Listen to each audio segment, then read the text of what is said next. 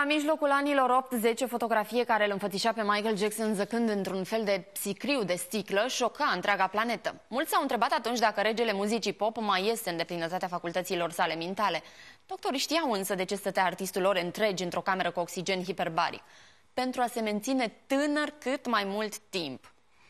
Anii au trecut, tratamentele estetice au evoluat într-un ritm amețitor, astfel că în ziua de azi există sute și sute de terapii care să ne facă să arătăm perfect. Una dintre acestea este cea cu oxigen hiperbaric. Acest tratament de rejuvenare are același efect ca și injecțiile cu acid hialuronic, dar și un mare avantaj, nu implică ace. Probabil acesta e unul dintre motivele pentru care Madonna a devenit dependentă de această terapie.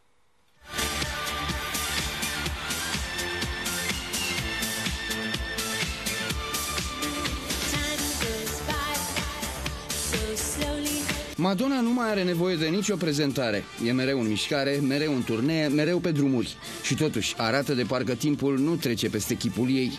Cine a inventat oxigenul hiperbaric cu siguranță s-a gândit la ea și la miliardele de femei care nu au timp să doarmă, dar vor să arate mereu ca o zi de primăvară. Tratamentul cu oxigen hiperbar este de fapt un tratament de transport, nu un tratament în sine. Oxigenul hiperbar ajută ca substanțele active pe care le punem în jetul de oxigen hiperbar să penetreze pielea de patru ori mai mult decât o mască. Teoria e simplă. Dacă în rezervorul pentru oxigenul hiperbaric punem acid hialuronic, se face un tratament de hidratare. Dacă vom pune substanțe pe bază de vitamina C, se face un tratament de depigmentare. În cazul în care dorim un efect de lifting instantaneu și de prospețime, vom folosi extracte de struguri roșii și șampanie. Deci asta este serul. O fiolă este suficientă pentru față, gât și decolteu. Time goes by so slowly, time goes by so slowly, time goes by so slowly. O să lucrăm cu oxigen hiperbaric care are o presiune de 4 atmosfere și vom introduce serul cu șampanie și sâmburi de struguri. Sunt uh, uh, ca niște mici injecții. Tratamentul cu șampanie are efect instant. Dorim să mergem la o petrecere, putem face un tratament cu șampanie, fața noastră o să arate imediat luminoasă, proaspătă și întinsă, dar acest efect va ține pentru 2-3 zile.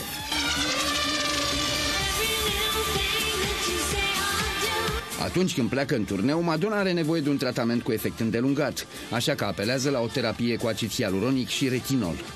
O cură completă înseamnă șase ședințe de tratament.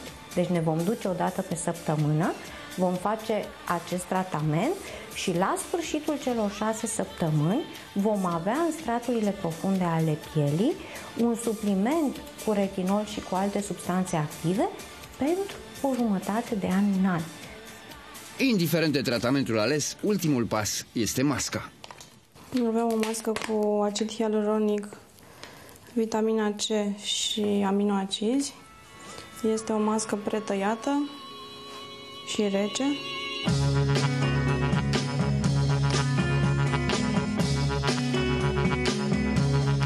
Veronica nu este Madonna, asta este evident, doar e șatenă, nu blondă și locuiește în București, nu la Londra. Ea știe însă că nu trebuie să fii divă ca să arăți impecabil, așa că periodic își face tratament cu oxigen hiperbaric. Mă pregătesc de uh, primăvară.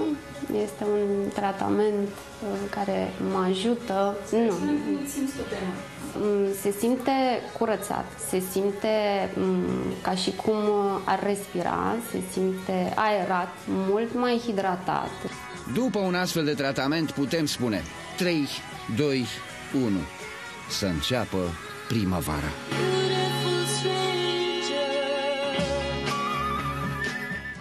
corpo il nostro